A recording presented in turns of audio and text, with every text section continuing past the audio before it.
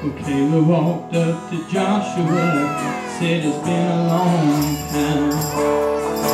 I made it fine, I still my mountain. Well, I'm just